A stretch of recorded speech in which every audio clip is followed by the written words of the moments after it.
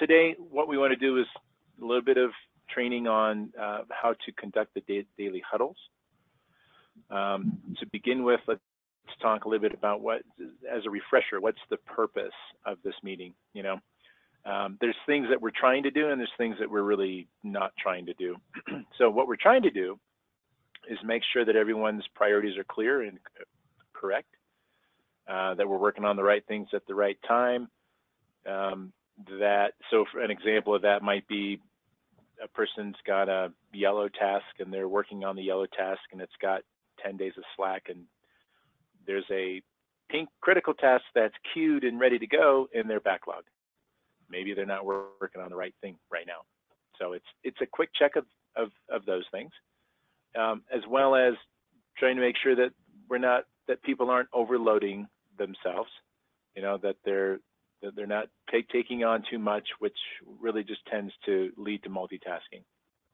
So we're doing that. And then especially for the critical tasks, we're trying to make sure that the handoffs are smooth, that uh, we're not dropping the ball on the on the critical path, on the critical chain, um, that people are aware of that they're going to be likely be on the critical path tomorrow, and that they start to think about what they need in order to be ready to go, and you know things like that. So we're doing that. We're also then managing our blockages. it's it's about the only opportunity that we get, at least as a team, to, to talk about um, who's blocked, what's blocking you, what's the nature of the block, and you know, is there anything we can do to help? I mean, being blocked isn't a bad thing. Some some people I think are shy to say I'm blocked, and it's actually really just the opposite. We we need to hear, you know, what's getting in your way, um, and so we can try to figure out if there's a way that we can help, you know, eliminate that block. And then um, number four would be to manage the, the actionable queue tasks, you know, things that are in the backlog that are ready to go. They're, they're just waiting for somebody to have time. Is there, is there any opportunity there to move those things forward, uh, to get those things moving, you know? Uh, so maybe we can hand it off to another individual or not, you know, but so those are the things that we're really looking at. what it's really not is it's it's not a status meeting. It's not a let's review each and every task and tell me where you're at now. You know, I mean, a little bit of that's fine and prob probably you know healthy, but this isn't a status review of every task. You know, we we everyone's working. It's great to hear kind of you know what you learned from yesterday, as it may be relevant to other people? You know that that's perfect. That's great. So a little bit of that is really healthy. But you know we don't need to like have a regurgitation of what you said yesterday. That's that's kind of a waste of everyone's time really. And um, sometimes uh, sometimes we like to get into in-depth technical conversations. Um, and again you know that's not what this meeting's for this meeting is intended to be 15 minutes or less um. That's the goal. Um, so when we get into real in-depth technical conversations and we spiral there, uh, we got most of the people looking at each other while two people are having a you know ongoing conversation. So hey, that's that sounds like that's important. Let's let's offline that. Let's talk more about that right after this meeting. You know that's that's great. But we just have to be aware that that uh, we don't want to spiral into those in, in-depth technical conversations for, for very long. Um, who runs the meeting? Well, that's one question. Some uh, some some groups, um, it might be Al. Uh, some groups, uh, it's the project lead. You know, for a particular project, uh, could be the leader of that project. Some groups take turns. Man, uh, everyone takes a turn running the meeting. Usually, I would say core team type folks uh, not so much the the shared resources. They're they're kind of you know they may or may not be uh, at the meeting very often, um, depending.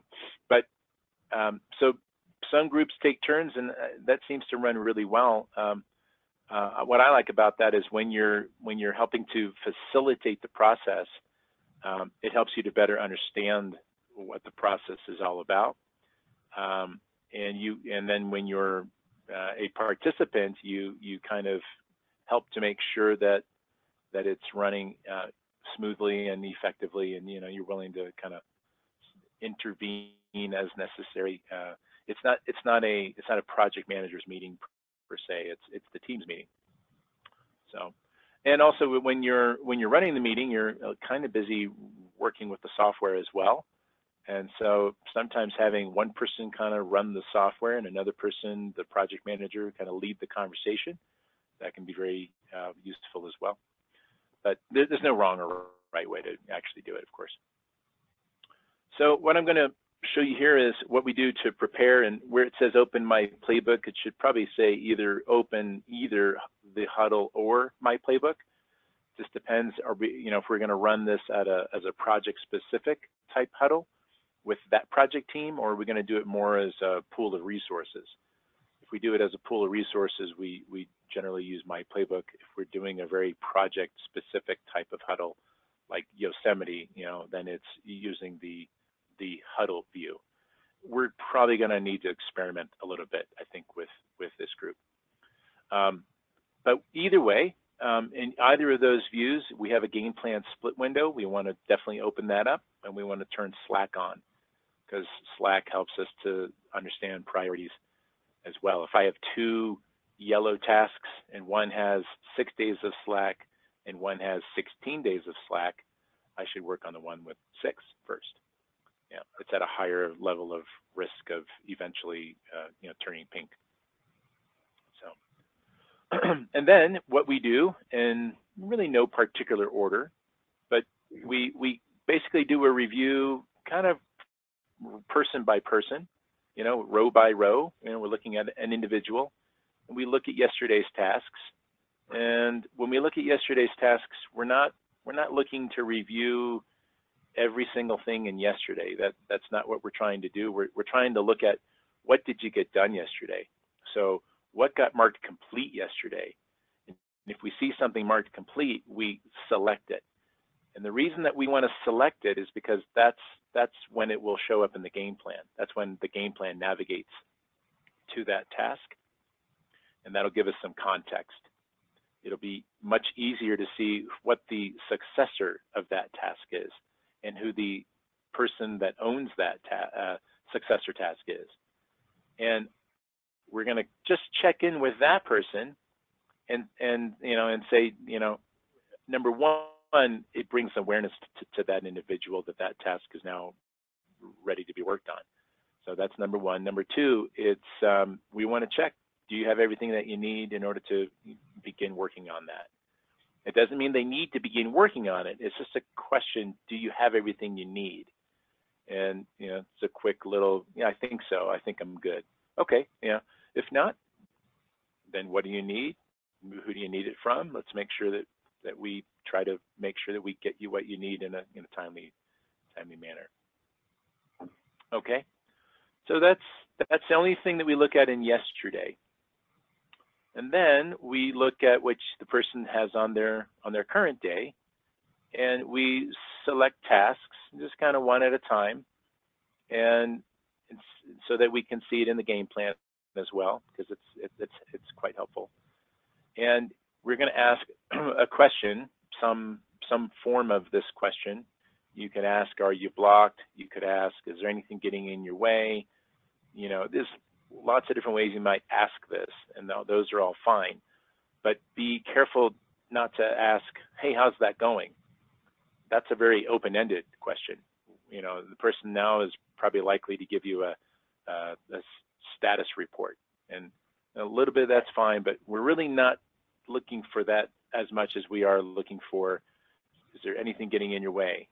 You know, so, so, and you'll, you'll morph to, to do it your own way. You know, you might, uh, however you're trying to ask it, just make sure that you make sure that, that you're getting to, is there anything getting in your, in, in your way or do you have any blocks on that as well? And if the answer is, yeah, I am blocked, um, a little quick description by the individual to say what the nature of the block is. Sometimes there's a quick little conversation amongst a couple people that can help to give some direction to help resolve the block. Um, if it's going to take longer, you know, and we're not going to be able to resolve it in the context of, of the meeting, that, that's fine. Let's let's meet after this for another five minutes, you know, something like that.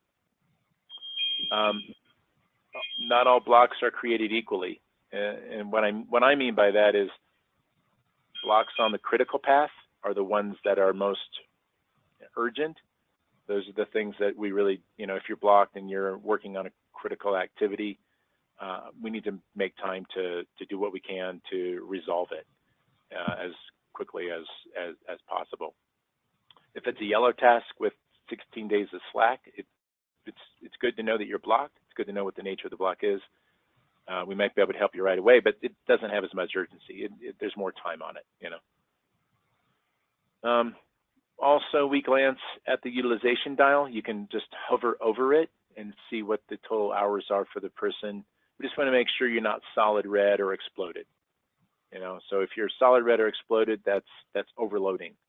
You know, you shouldn't be solid red or, or exploded first thing in the morning. You should be you should take something off your plate that says my my the most important thing for me to work on is this task or maybe these two or maybe these you know three as long as I'm not overloaded. But when you start getting to overloaded, yeah.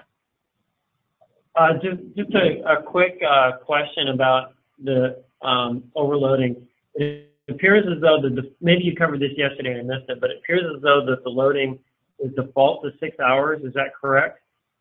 Hmm. Um, no, I don't think so. I think it's at eight. It's at eight. I think so. I, I'll I'll double check. Does it turn? Does it? It seems as though it turned red or something. It, oh. About, yeah, it's gonna it's gonna start getting into the red. So it's Yeah, gonna start okay, getting that's- into the red at six hours. Yeah. okay. It's gonna turn. Yeah. So it's gonna be like three three quarters and a little red at six hours. Yes. That that's that's correct. And is that something that the uh, admin has access to kind of adjust that? No. Well, so it's a function of a percentage of capacity. So the admin can adjust the person's capacity, which will have an influence on when it turns yellow and red, uh, or you know exploded. But as where as far as where the thresholds are, no, that's all hard hardwired into the into the system right now. That- that- That's okay. I'll I'll follow up with with someone on that. Um, I just wanted to understand what it was telling me. It was just. Yeah, so okay. when you're up to, I think, 70%, like between, well, zero to 50% is green. Once you go above uh, 50%, it turns yellow. Up to 70%, then it starts turning red. Got it. And then at 100%, it, it looks like a exploding, you know, tomato. Yeah, okay, head. that's. It should be a person's head exploding. I don't know. Okay. Yeah. hmm Got it. Thank you. Sure. So we want to we want to just you know we're not really asking uh, this is we're not really asking this. I'm asking this in my in my head. Is this person overloaded? You know, they have too much on their plate. Are their their priorities really clear? Do I need to kind of coach them a little bit? You know, um, because you know if they have too much on their plate, then it's probably not so clear what their most important thing is. So maybe another way of sort of asking this is, you know, hey Joe, what do you think your most important task of the day is? That, that'd be great, you know, and you're going to focus on that first, right? Until that's just done. Yep. Oh, great. Okay, blocks on that. You're all good to go. Got everything you need. Yep. Great. Yeah. so when I say it, there's a recognition, you, you, you can leave things on the day as long as everyone's clear what their most important thing is and that they're going to focus on that. Yeah. If you really want to make it clear, you can take the lower priority thing and move it back in the backlog, you know, and just just make it clear. Just don't worry about it. That can wait till later or till you know tomorrow. But it's got to wait until the, these these things are are done. Yeah, that's the goal. Okay, and then we do check the backlog, of course. You know, we got to look at what's in the backlog, but we're not checking everything in the backlog. Uh, there's going to be a number of tasks that may be in your backlog for the next two weeks. Uh, most of them are not actionable, right? They're not queued yet. So don't worry about them. We're, we're not reviewing all of those. That's that's kind of a waste of time in, in this meeting. We're just looking for the ones that have the filled dot on it. If it's queued, that means it's actionable, it's ready, and we want to check on that and say, you know, what is this? Uh, should we really be working on this before working on what you've got on your plate on the current day? You know, usually, usually that's not the case. Usually it's, uh, I only have so much time and I can't work on that yet. Okay, that, that's fine. So the what we look for is an opportunity, perhaps, to have handed off to somebody else. You know, if it's possible, if it makes sense. Um, but it might make perfect sense that it just has to sit there and wait, and that's fine too, uh, unless it's pink. pink and critical, then we're really looking for a way to keep keep that moving, you know, because otherwise we know we're we're eating into our buffer. You know, that's that's uh, you know that's what that means. And basically at that point, you know, we we go through the review of each person, and we have that conversation as a team, and we're done. We, we execute, we, we leave the meeting. Um, like I said, 15 minutes or less. Um, some early on, it's new, you know, we're learning, so it'll it'll take a little longer. Uh, there'll be questions about the software and various other things, so that that's fine. But probably after about a week, a week's worth of practice, I would just say maybe we want to start truncating it. You know, if we get to 15 minutes, we're we're done. You know, and we'll regroup again tomorrow.